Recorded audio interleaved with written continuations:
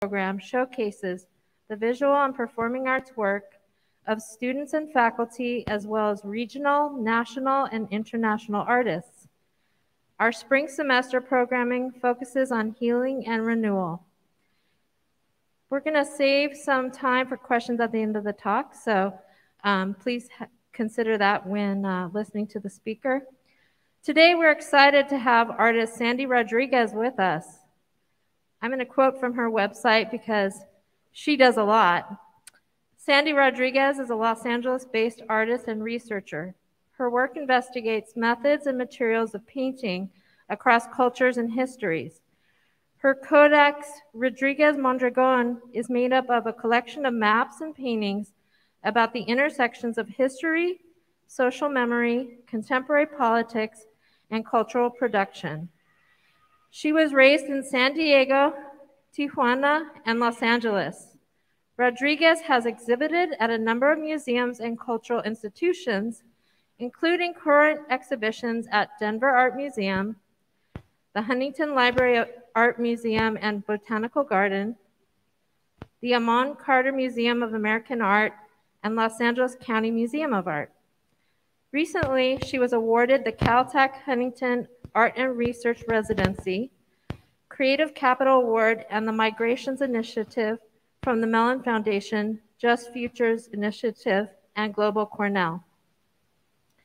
Rodriguez's work is represented in numerous collections, including the Los Angeles County Museum of Art, Crystal Bridges Museum of American Art, Amon Carter Museum, among others. Rodriguez and her work have been featured in BBC News in the Studio, Hyperallergic, LA Weekly, LA Times, New York Times, Spectrum News One, and on several radio programs and podcasts, including Latinos Who Lunch, which is great, and Modern Art Notes. Welcome, Sandy Rodriguez. Thank you, Mio.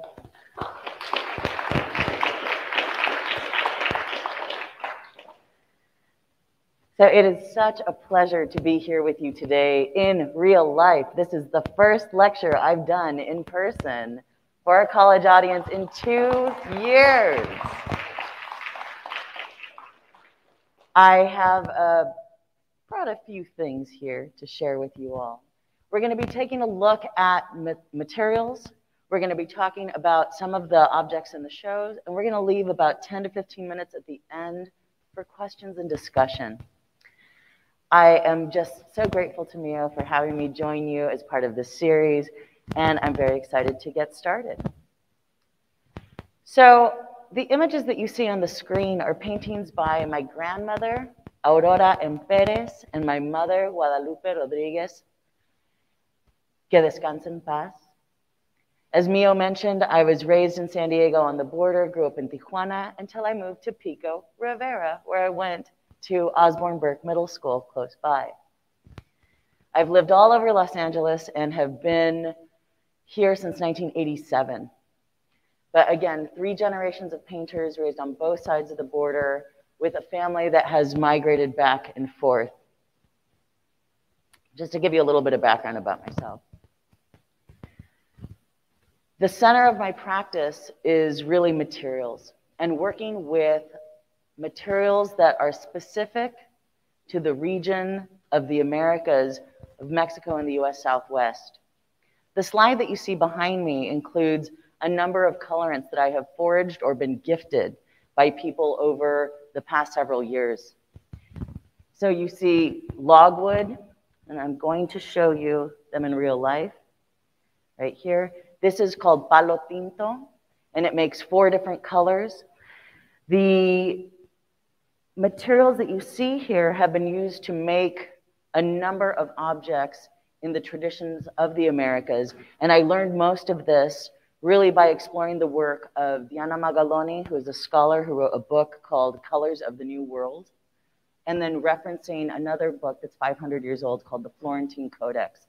But it tells how painters, prior to the conquest and invasion of the Spanish, used the natural world around them to make all of the images. So this palo tinto makes purple, black, gold, hot pink, depending on how you process it. You also have Maya Blue, which was created in the third century by Mayan artists. This is an indigo in a special clay from the Yucatan that's heated, so it's material from the underworld and material from the solar world, which is why artists um, have a very specific place within culture that is different than craftspeople. You also have chlorite. I didn't bring any chlorite with me, that's on the chart, but I did bring antlerite. And this is a mineral that's in its rock raw form from Arizona. Yellow, the yellow ochre. So yellow ochre and red ochre, lucky, this one and this one, are iron-rich minerals that have been used in painting since artists were painting in caves for ritual and for communication. This is one of the most stable colors, and when prepared, is used across every painting medium since the dawn of civilization. Uh, cochinilla is a little scale insect. This eats the flesh of the cactus, the paddle-tail cactus, the beaver-tail cactus, and is a little female scale insect. Then when she eats it, she creates a red carmine in her body. And when you crush this little insect, you get this bright red pigment. This is the color that was exported and changed global markets like the logwood between the 16th and the 18th century. So this cochinilla is from the solar realm, from um, above ground, and this red, the red ochre, is from the underworld. This red ochre um, has a lot of uses in ritual. Some of the organic colorants, like walnut, look like this. And here in Southern California, we have walnut trees everywhere. And if you're on a hike and you see this beautiful green leaf, and I should have brought the leaf because I just saw it yesterday, you'll see these on the floor, and when they're broken open, it looks like a little piggy nose. And so it's the skin where you get the walnut ink from, but it's to stain your hands, so just be prepared. Acorns, we have 22 different varieties of oaks in California. And after you process these and prepare tortillas or picadillo with the nut meat or milk, you can take the shells, soak them for a week, boil them down, and then make an ink by adding a little bit of a binder. A binder is gum arabic. Gum arabic is the gum from an acacia tree. This tree is from Senegal, though. Once you dilute it with some hot water overnight, it becomes a medium that sticks all the color together. In Mexico, painters used this orchid gum from this orchid bulb that when processed correctly, you use an obsidian blade, and my friend uh, Dan Calderon made me this, to chop it, then you boil it, then you dry it, then you grind it in a volcanic rock mortar pestle to make a powder to then make your paint. There are a number of other things up here that we can talk about a little bit later, but things that are not native but have naturalized, like pomegranate, it's the skin you wait for it to dry, dry, dry. You crack it with a hammer, and then you just take the skin and get rid of all the seeds.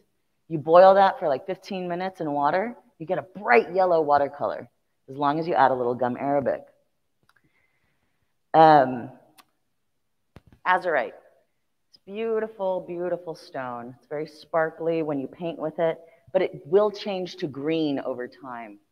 So sometimes it's good to layer some of these colors. But I brought all of these things here and the watercolors that I prepared for you to take a look. This is the muller, and this is what you grind the paint on a granite or porphyry or a glass slab to make sure that the paint sticks together with the material. So that's what all of these uh, paintings you're about to see are made with. And I'm going to pass this around, so if you want to grab some amate paper, I just want you to feel this. This amate paper is sacred ceremonial outlaw paper. At the time of the Spanish invasion in 1519, one of the things that allowed for them to uh, attempt to erase a history was to destroy the libraries and the códices, these codex, these are Mexican manuscripts that record genealogies, that record histories, that are visual narratives. And all of those books were destroyed except for six. And those six are in various collections all over the world, but they're not quite here in Southern California for us to look at or study or spend time with, which is why the series that I've created is called Codex Rodriguez Mondragon after my parents' names. So this is a sacred ceremonial, once outlawed paper, and so I'm using both the color and the material of the paper to really support some of these stories that you're about to see. So I have a couple slides of some of the ochres. Um, one of my friends is amazing and he does a lot of analysis on the pigments. So when he's out collecting, he'll bring me these huge hunks or ship me these huge hunks of ochre. So that's what you're seeing right there. That's a big, bright chunk of yellow ochre. And you just rub your hand on it and your hand's bright, bright yellow. That's what my desk looks like at home. And I found that piece of glass in the alley and I just uh, used some calcium, some special grinding material to like prep the surface so that it's rough. But glass doesn't really hold up to some of these other pigments, so I recommend going to like a marble tile place and getting a chipped one and then like sanding that and using that because that will stand up and hold on for a long time. Here's some of the process of the grinding that you can see, where I mentioned you grind it, grind it, grind it, you make it super fine, and then you do what's called levigation, where you pour water into it so all the tiny particles float, and then you pour that into another glass. And then 24 hours later, all the fine, fine particles have dropped.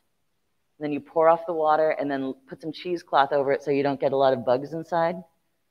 And then it dries into a cake. And it's like a perfect eyeshadow. And that is what you regrind again. And then you mull it with a binder to make your paint. A couple more images of that and then you stick it in a mussel shell. The mussel shell is one of the best paint containers because you're not using plastic. You pick these up on your beach walk or after dinner if you've had mussels. But the brush is perfect for just scraping the excess off and it fits in your hand just like a perfect palette.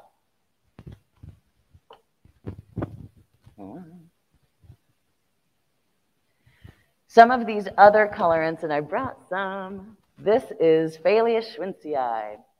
And I collected this mushroom, and it's about the size of your head. I got it in 2018. There is a forest up in Mendocino County where you can apply for a permit and collect mushrooms. And I went with a group that was collecting mushrooms to cook and eat. But I was looking for the Dyer's polypore, which is this mushroom that you see behind me.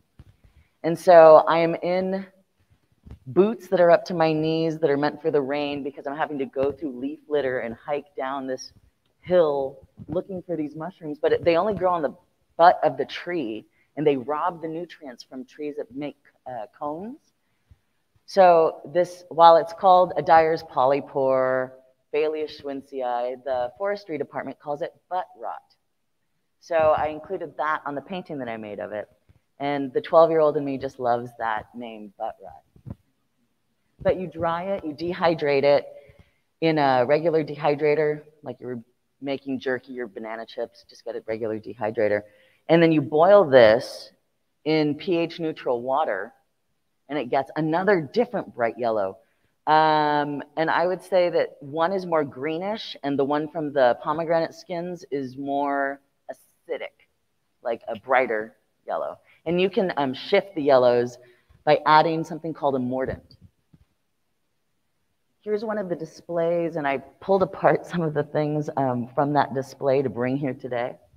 But basically, it's materials from the underworld on the bottom, materials from the solar realm, like plants and insects, on the second shelf. And then on the top shelf is the Maya blue that is the fusing of the two in the act of creation. And there is a little beautiful image of this. And if you want to pass this around, um, you can kind of smell it through your mask. But it smells like a perfume because this is a lichen that is intended for embalming, for perfume, for making three different colors. And I was reading a recipe by a woman who is an archaeobotanist who picks out little plant remains from uh, vessels in a museum. And she didn't understand why she found so many vessels with this organism. And it's because they used it to embalm the dead and for perfume and to make four different colors. So the recipe involves um, fermenting it like you would pickles or like you would sauerkraut or um, curtido, right? And you keep it under the sink and you shake it every night, and it's 21 days to make this color, and it's this beautiful pink. And then I find out it only works if you're working on silk or wool or feathers. It doesn't work on amate, cellulose. So it's like disappearing ink. But I will someday figure out how to do some of this work on um, protein. And so here you see some of the extraction and process, as well as the um, pomegranate. Marigold, the same. It was a very, very difficult journey to figure out how to get the color from marigold. But after Dia de los Muertos Altares, you have like seven or eight bunches of marigolds dried. Just take the heads off, boil a big, big pot, but you need a lot. And you can dye a bunch of different things. I dyed like three pillowcases and men's handkerchiefs and all kinds of stuff, but it gets a beautiful yellow. And you can punch it up with a little bit of turmeric also if you're interested in doing textile dyeing. So you see some of the yellow that came from there. So this map I want to share with you is the mapa for Malinche and our stolen sisters. This particular painting took over two years worth of research, and I've been working with the curators for almost five years now. There is an entire exhibition that is in Denver that is about the history of Malinche, who played a very, very important role in the invasion and conquest of Mexico and is scapegoated for being a woman who was a translator, the companion of Cortez in negotiations, but at the end of the day, she was kidnapped as a tween, trafficked, and made the best out of a horrifying situation. So in this map, I've plotted eight places of her birth, her kidnapping, her trafficking, her role in the Battle of Cholula, the fall of Tenochtitlan, where she has her first child by Cortez, where she's married to Cortez's um, colleague, Juan Jaramillo, where she has her second child and where she is uh, died in Coyoacan and then is cremated. But I've also included the hands of 19 other women who, over the past year during pandemic, were murdered missing indigenous women along the US-Mexico border. This narrative is not over. This narrative continues to be an ongoing part of the colonial violence and these cycles of abuse. So you see the details where I've created a visual narrative to tell her story. Most of the objects over the past 500 years that tell her story are told from Cortez's perspective or from the, the dominant narrative perspective. So it's 500 years of objects in this exhibition in Denver that will travel to Albuquerque in June and then to um, Texas, to San Antonio in the fall. But there's a beautiful catalog and there's a number of resources on the website. You can check it out if you want to see more of this particular piece. There's the image from her birth and there's the image of her um, when she is trafficked along with 19 other indigenous women to Cortez. There's another exhibition that you can go by and check out locally at the Huntington Museum in San Marino, California and it's part of an exhibition called Borderlands. I had the opportunity to teach a course last winter, but it was over Zoom. But it was how to make colors and how to create visual narratives with these hand processed colors of this region to tell your migration story to Los Angeles. Because if you are not Tongva, your family migrated to Los Angeles. My family migrated to Los Angeles in 1915 during the revolution from um, Aguascalientes to Bunker Hill, but is now Chinatown. But my family moved back and forth, but we're still migrants who keep coming back to LA. So this exhibition of Borderlands has a re kind of contextualized way of looking at the American art collection. I got to teach as part of a fellowship I had with Caltech and the Huntington. And at the end of that, my curator said, well, what, what are you working on? What came out of that fellowship?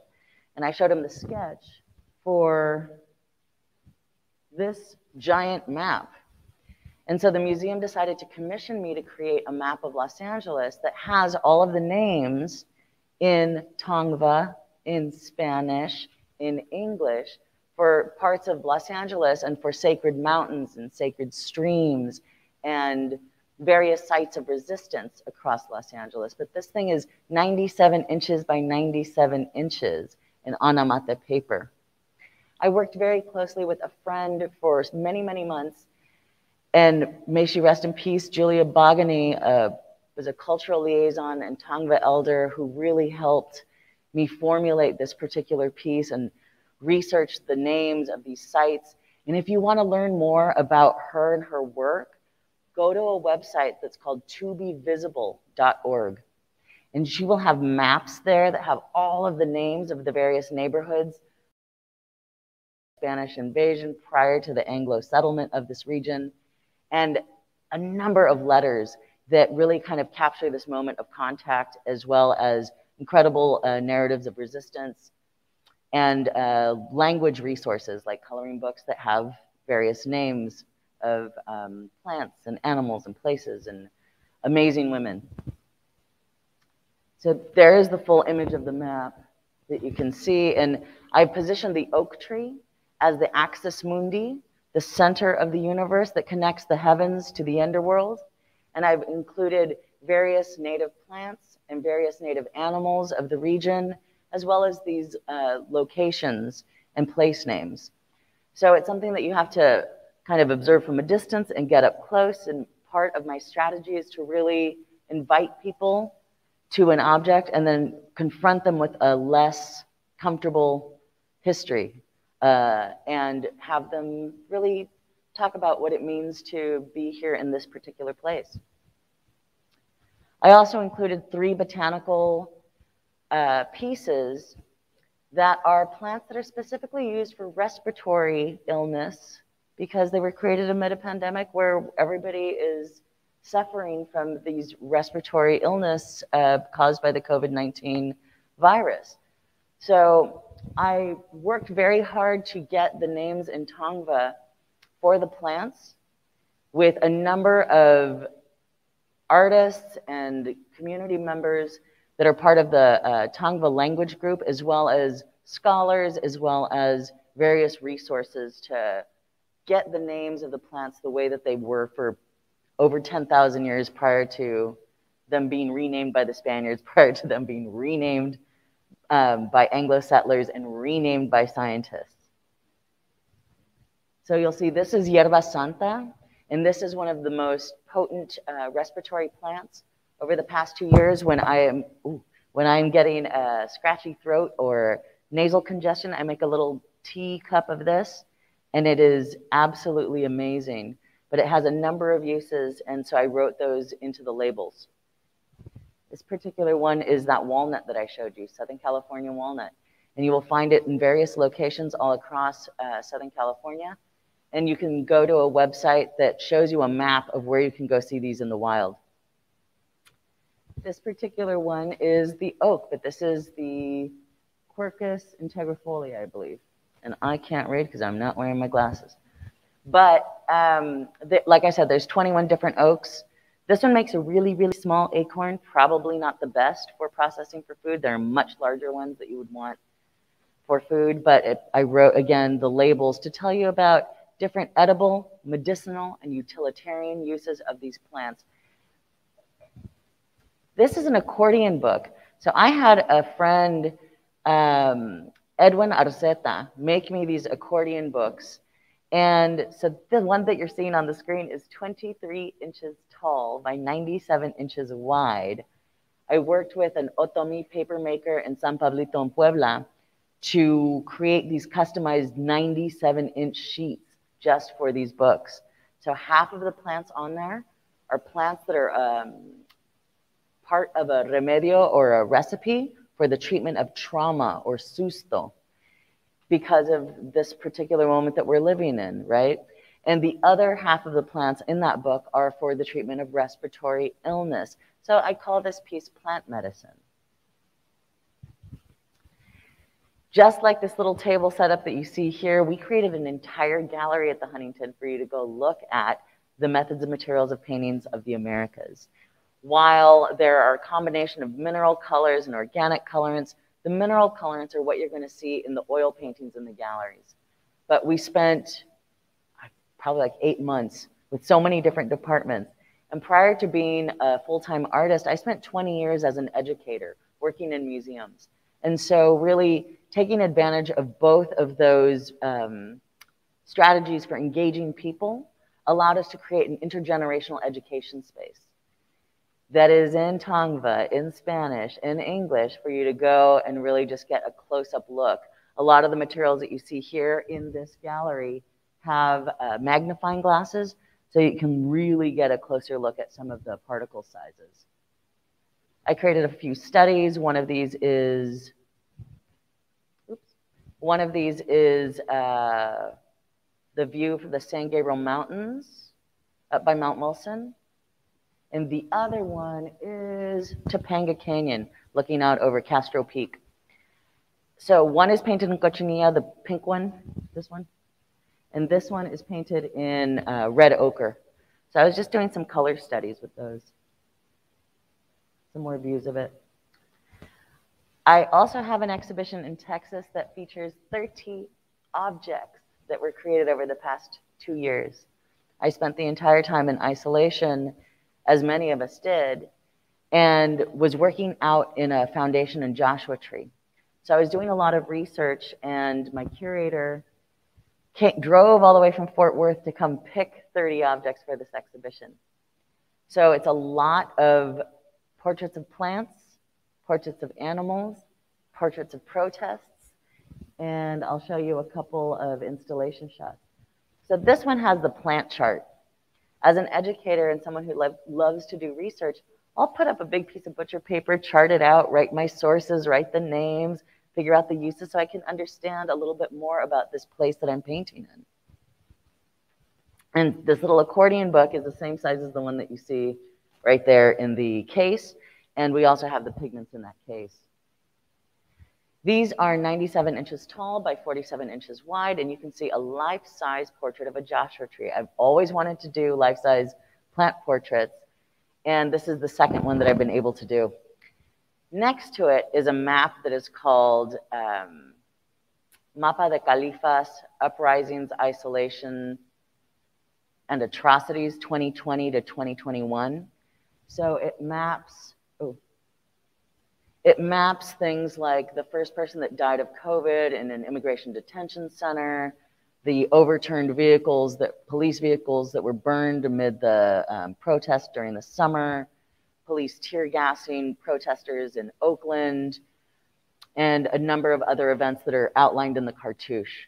So these are opportunities to really preserve a moment so that people do not forget what we all endured over um, this past year.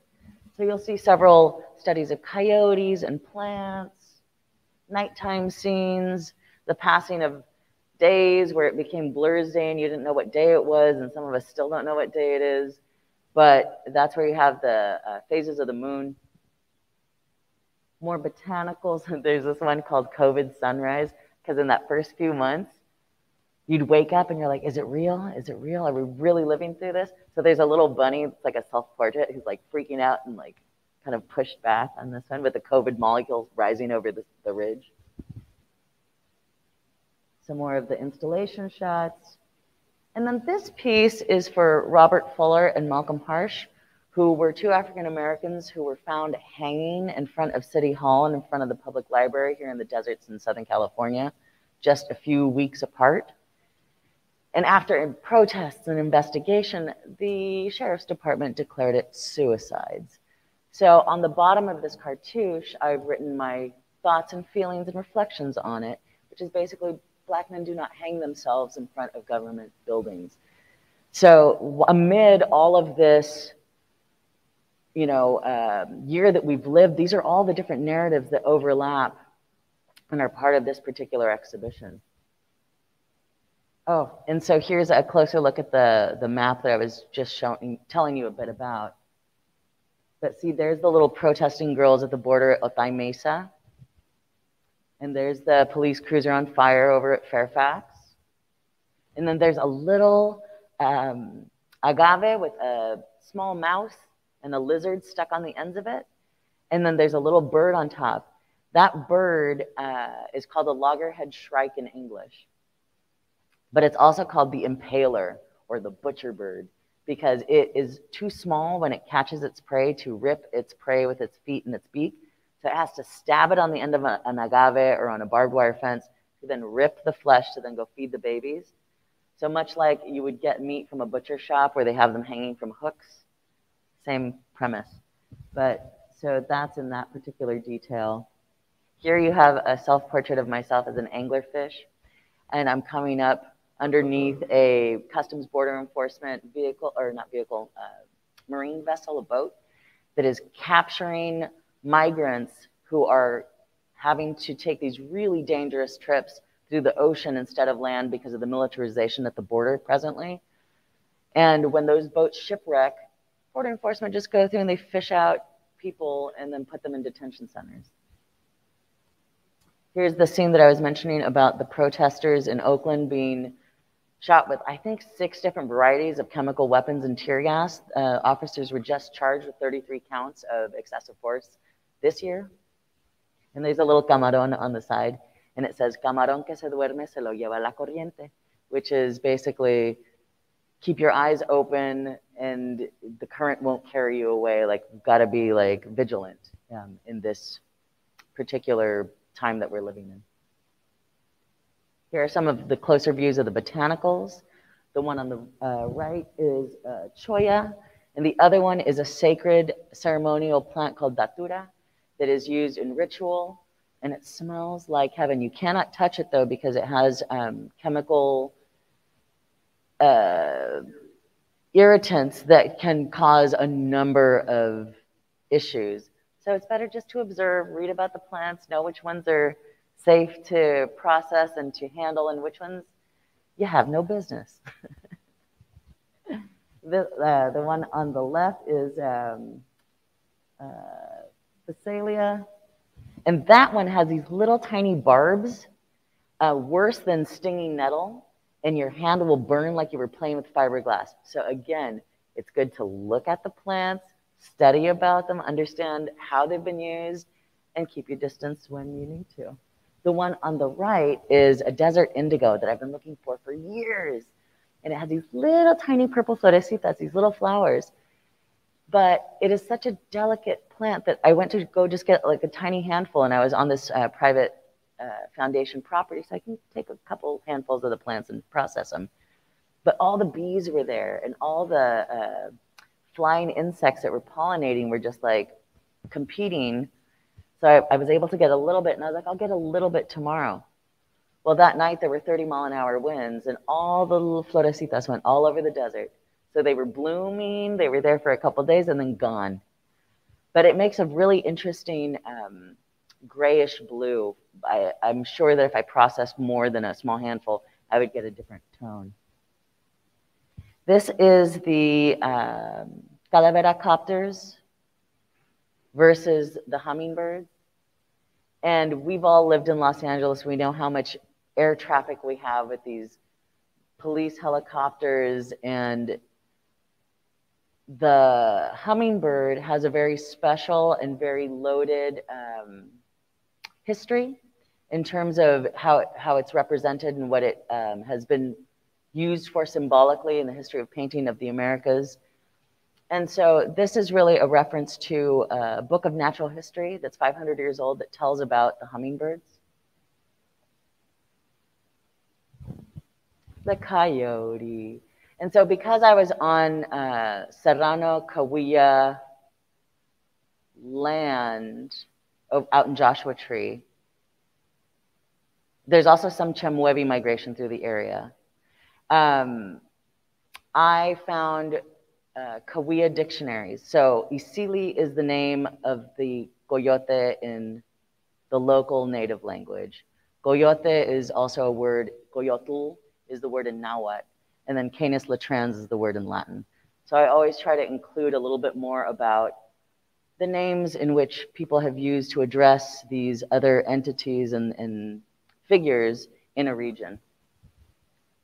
Here are my little protest girls that were um, small studies. So I do a lot of small studies on paper before I figure out how to do the big pieces. Because once you put a mark on amate, you cannot uh, blend it, you cannot erase it, you cannot paint over it. It is in there. And then the militarized police that we saw and see so much of in Los Angeles and then across the nation. This is a map of the first weekends of protests um, during the kind of national uprising against police brutality. And then a second exhibition that you can see locally is here at the LA County Museum of Art. And it's part of this extraordinary exhibition. It's two exhibitions that are called Mixpantli, that was organized by Diana Magaloni. And you can go see um, objects that tell of the resistance to the war of the invasion and there's a number of maps and objects and then this other one that has contemporary indigenous uh, views or voices I should say so there's an interactive map in this exhibition by a group called Cielo that documents all of the indigenous languages spoken in Los Angeles in a really beautiful interactive, and they've got QR codes where you can hear the languages being spoken. There's a floor piece by a Mexican artist, um, as well as prints on the wall based on the first map of Tenochtitlan. And then you have my maps in this exhibition. So there's six of these monumental maps. The one that you're, so here's the installation view. And then there's a giant sacred oak tree that I painted in acorn ink in the center as the axis mundi making Los Angeles the center of the universe. This map is from 2018, and this is for Angelinos that were killed by police. So this maps all of the places where uh, Sheriff's Department and CHP and the police have gunned down our neighbors.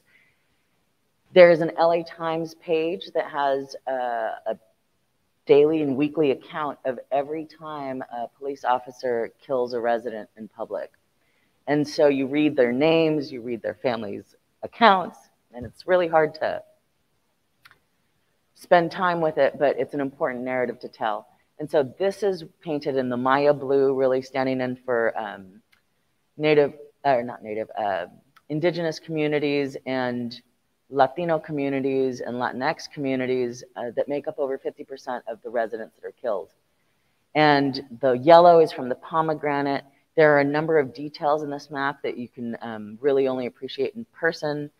So definitely go check this out. Oh, and there's also a ton of fun and silly uh, sea creatures that you can really only observe in person. But there has to be a little bit of levity between some of these heavier subjects. Otherwise, I would just cry in the studio. Here is the cosmic tree that I was telling you that I painted in acorn ink. But there are some very interesting um, humping turkeys on the right-hand side and snakes going by and uh, woodpeckers and scrub jays in the trees. And so this was um, a much more, um, I'd say, hopeful kind of way of centering myself amid the past couple of years. And so underneath you see the glyph of the mountain and you see the sacred waters symbol and you see a calavera that's connecting to the underworld. This is the map of uh, ICE, Immigration Customs Enforcement raids in 2018 when California was being punished for being a sanctuary state.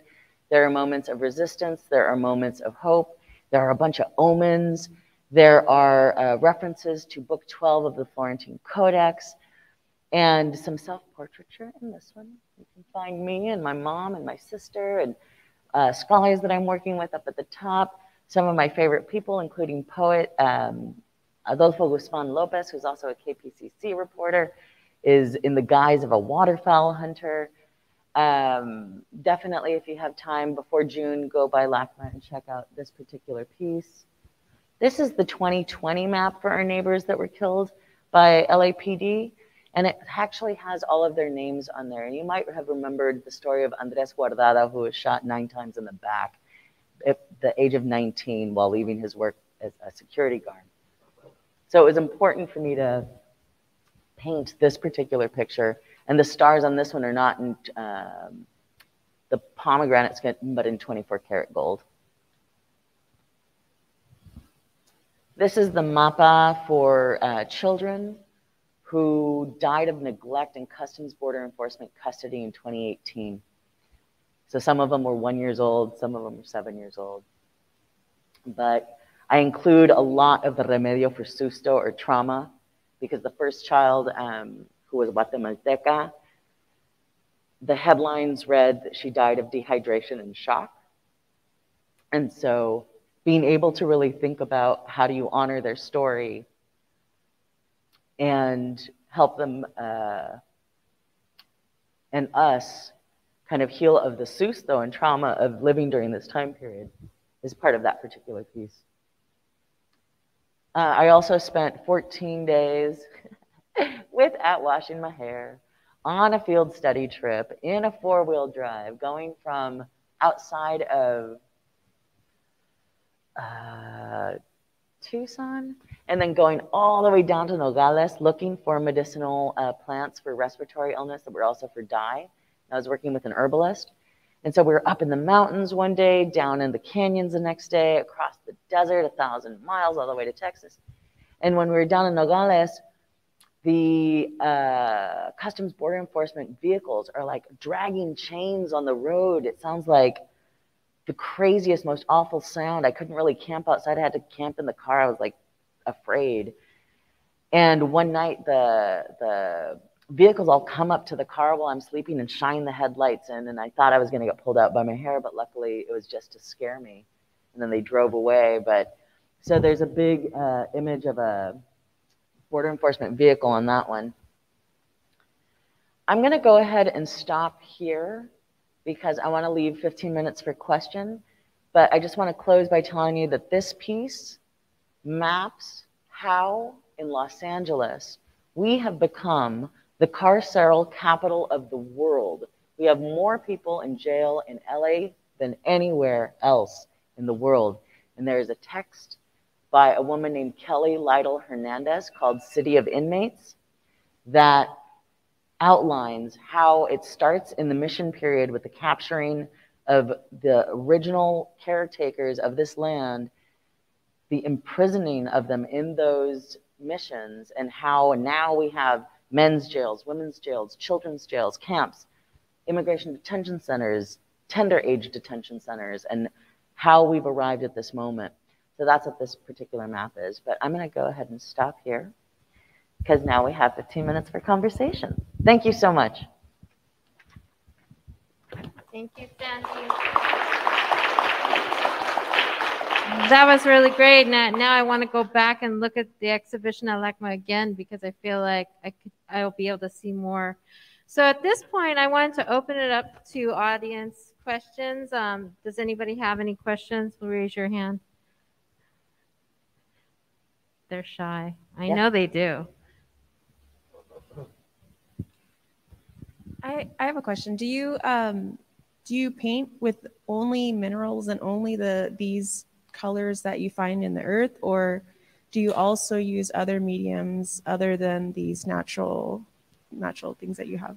That's a great question. And I'll tell you, when I started off, I was super strict and I was like, I'm only using uh, the hand processed colors according to these recipes that are 500 years old because they have this conceptual and like spiritual use.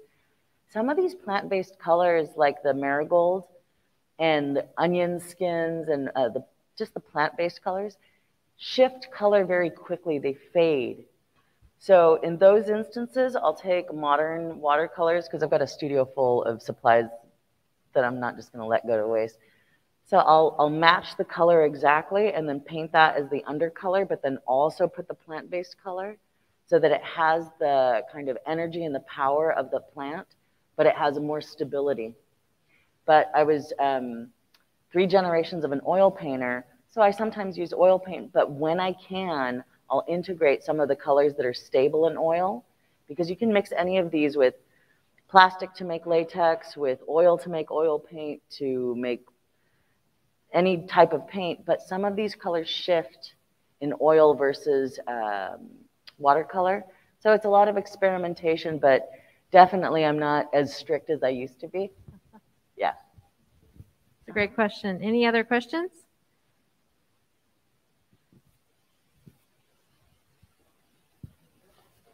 I have lots of questions. I'm very interested in this stuff. Um, a few years ago, there was a show at the Bowers Museum, Red. Yeah, yeah, yeah.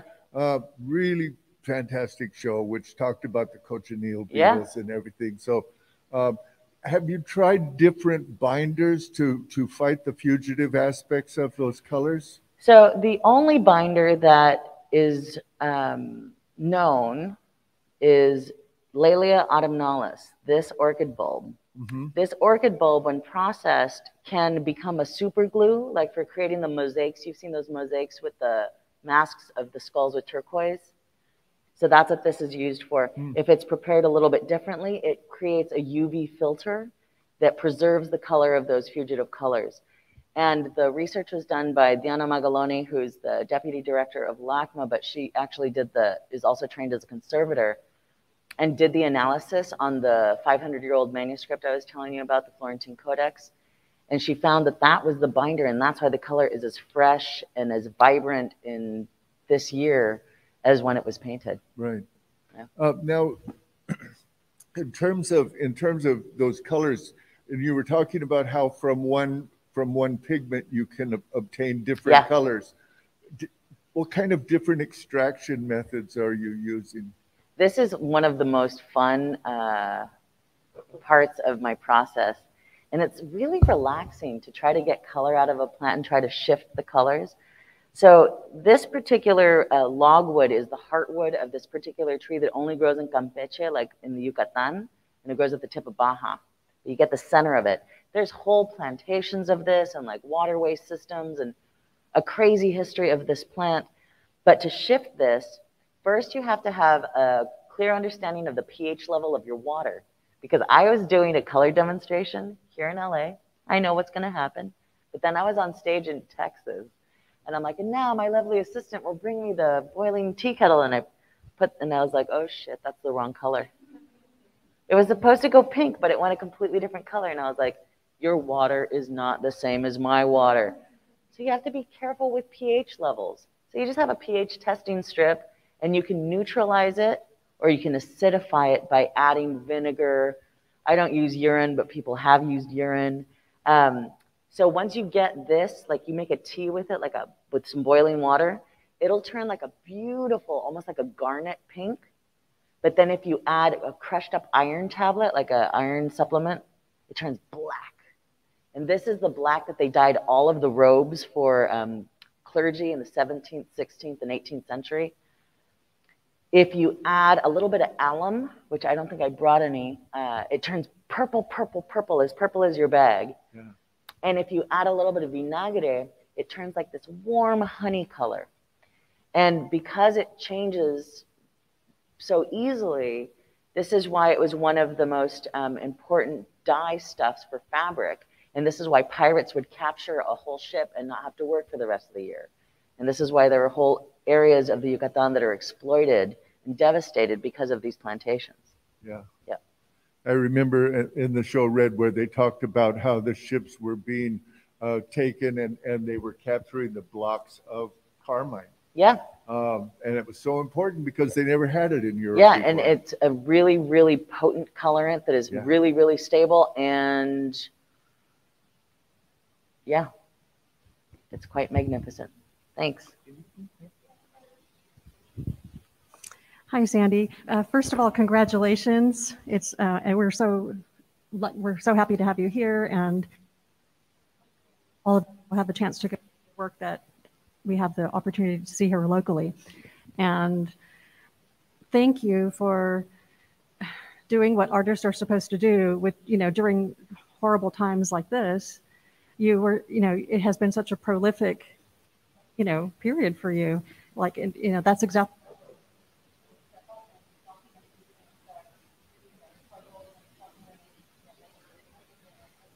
much for doing that. Um, but I, I have a question. My history of art, the history of Mexican art online students are watching this YouTube, hopefully now, or they will later. And so I have a question that will be that I want to ask you, that I want to pose on behalf of them.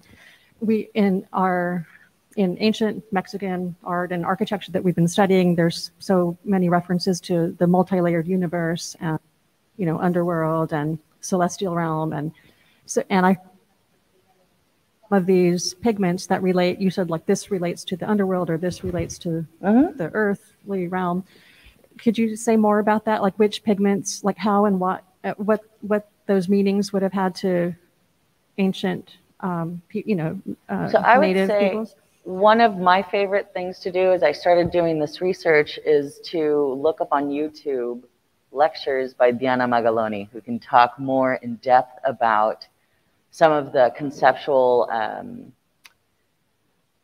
connections between the underworld materials, which are mineral based, and the solar realm materials. She has, I don't know how many lectures on YouTube where you get her expertise as both an anthropologist, uh, art historian, and a conservator on the subject of color. Um, as, I, as I mentioned, I think one of the most kind of concrete ones to, to repeat is the translucent reds from the cochinilla is used very strategically to reference the solar realm and the deities of the solar realm. Understanding that religion and thought, indigenous thought, at the time of the invasion and conquest is prohibited. One way that painters can communicate with audiences at that time about religion and spirituality is to use colors in a codified way. So if you want to talk about uh, an idea, you, you're doing it through color. You're doing it through painting.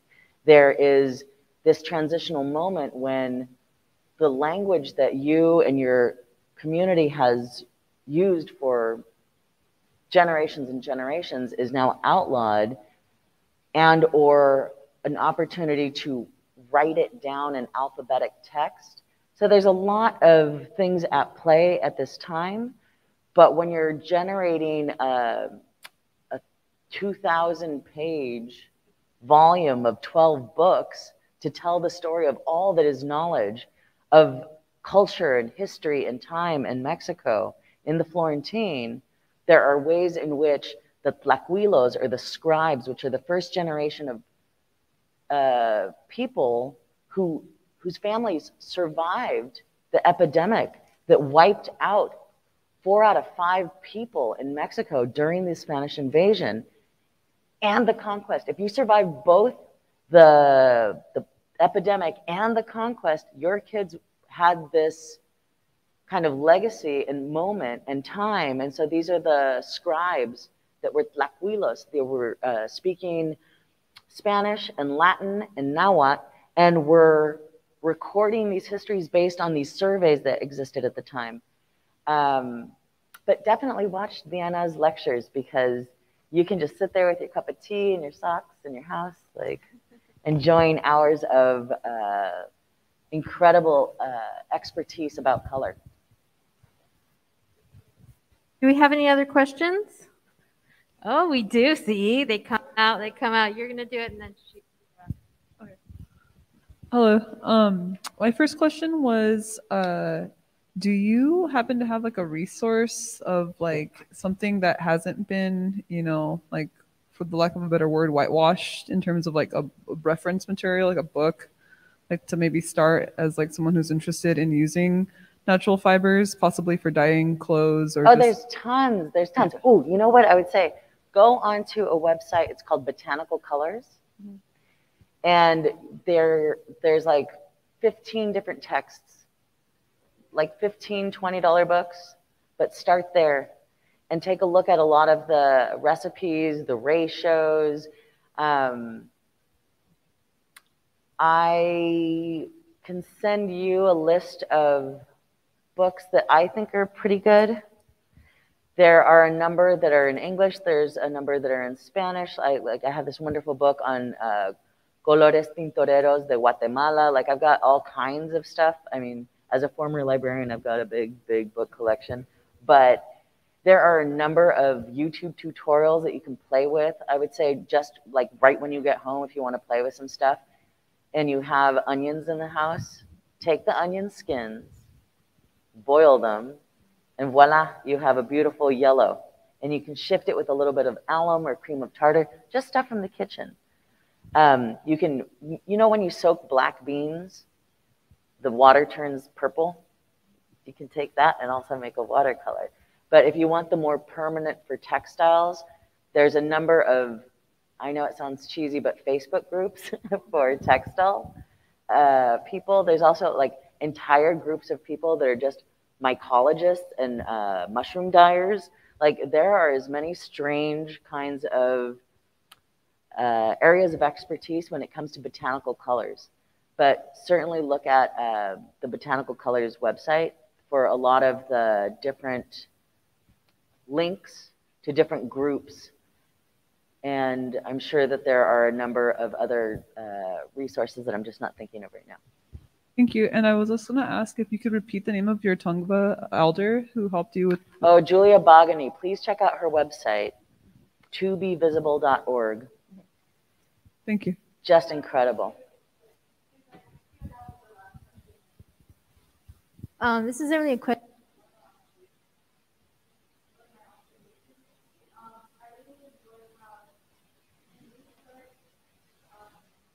I guess to say recent events of the pandemic into your art.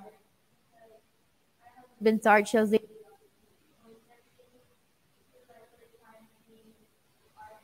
that derives from events. Living in the pandemic it's just every single day it's it's the norm you know? It's like step up comfort zone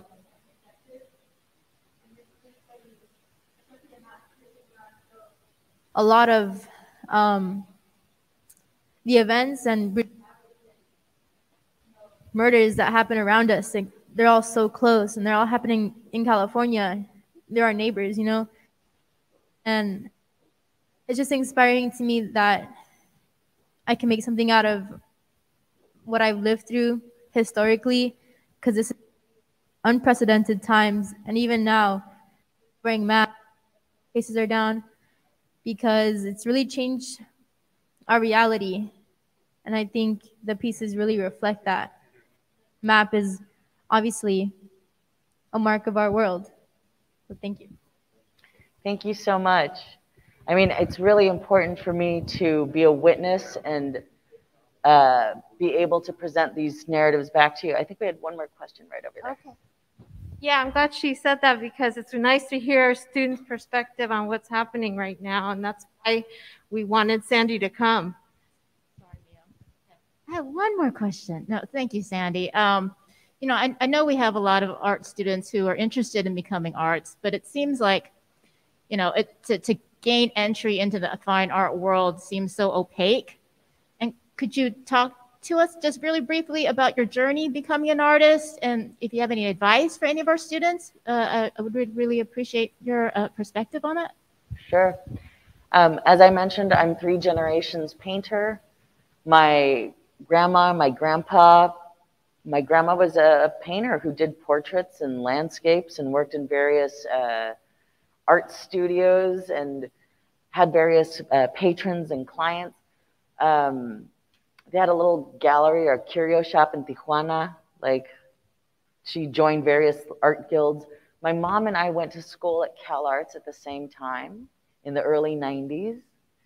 After she raised six kids, I've got five brothers and sisters. I always was excited about teaching.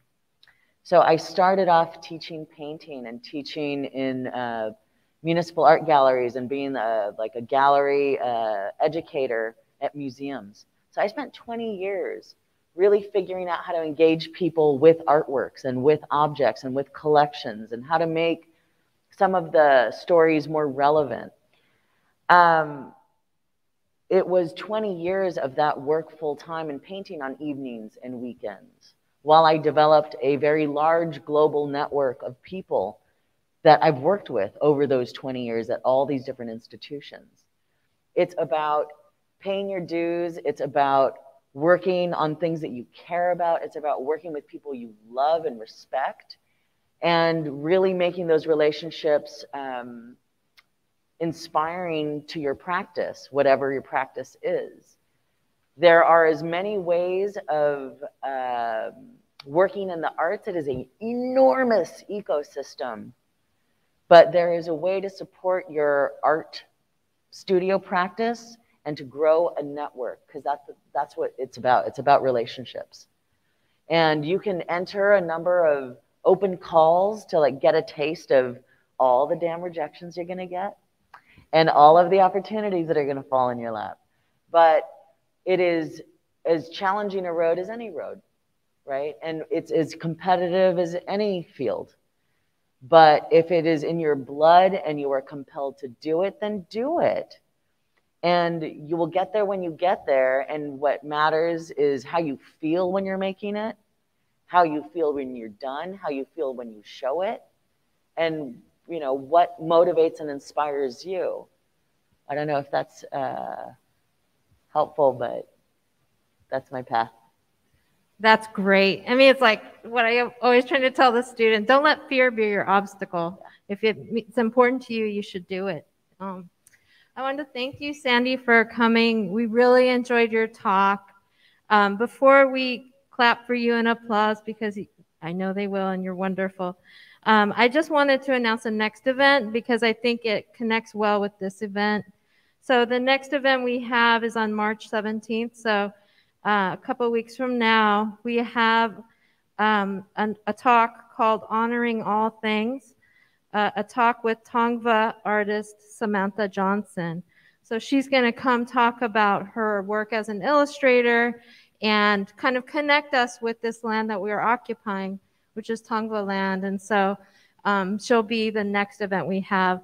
Thank you so much, Sandy. We really appreciate it. Thanks for coming.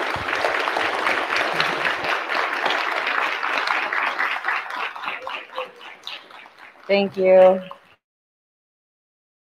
Take a closer look at some of these things in my accordion fold sketchbook. I also brought a couple of my coloring books.